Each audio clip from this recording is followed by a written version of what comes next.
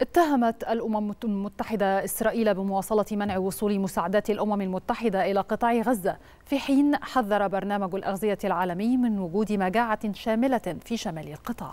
ويقول مسؤولون في الأمم المتحدة إنه في الوقت الذي يعلن فيه بوجه عام عن وقوع مجاعة رسميا في مكان ما يكون ما فات الأوان بالفعل لإنقاذ الكثير من الأشخاص.